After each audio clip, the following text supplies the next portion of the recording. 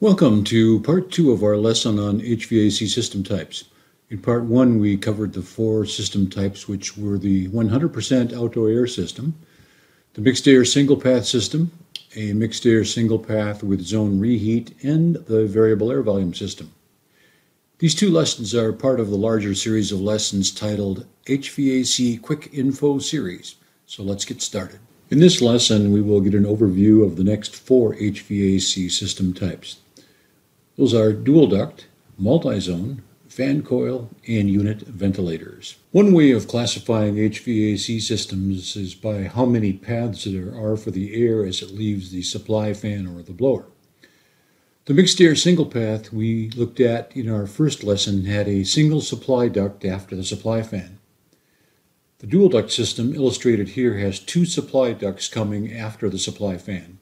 Another name for the dual duct system is a dual path system. Notice that the system has a heating coil in the path of one duct, the hot duct, and a cooling coil in the path of the other duct, the cold duct.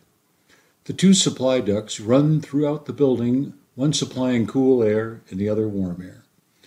In the ceiling of each room or zone is a mixing box containing dampers that uh, mixes a variety of proportions of the two air streams to create the desired temperature.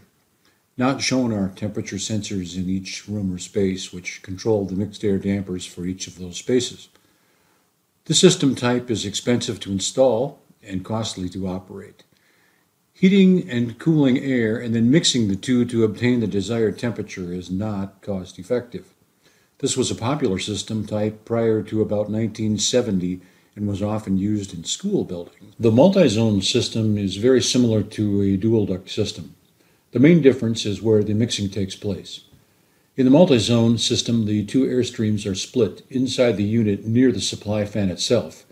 Then the mixing for each space is done in the system itself, and individual supply ducts for each space or zone are run to the respective rooms.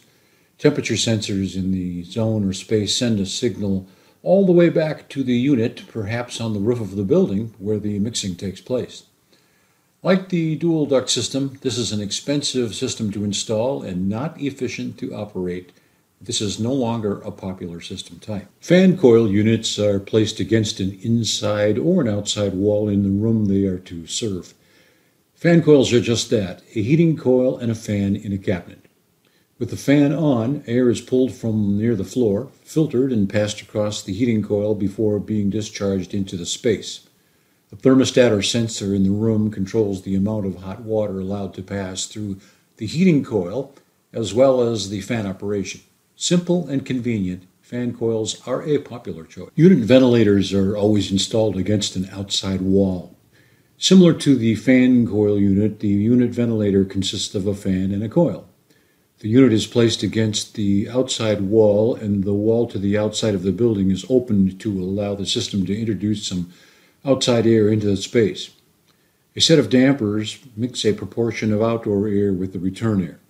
The actual mixture may be varied from no outdoor air at all to perhaps 10% outdoor air with 90% return air, or even 50% of each to the extreme of 100% outdoor air. The thermostat or wall sensor controls both the flow of hot water through the coil and the mixture or blend of the air streams. There is a variety of control strategies that may be applied to control this uh, type of system depending upon the usage of the room. The primary application for a unit ventilator is to provide lots of fresh air. A popular application would be an elementary school classroom where maybe 25 students and the teacher are all located in a small classroom and the students have just returned from recess. We would want plenty of ventilation in that room, wouldn't we? Well, there you have it. We have just finished part two of this two lesson introduction to HVAC system types. While making these two uh, lessons, I realized that there are a few other heat transfer devices that are often installed in spaces that I should cover. I will cover those in yet another video. In case you're looking for it, I will title it HVAC System Types Part 3. This is Norm thanking you for your interest and attention. I'll see you next time.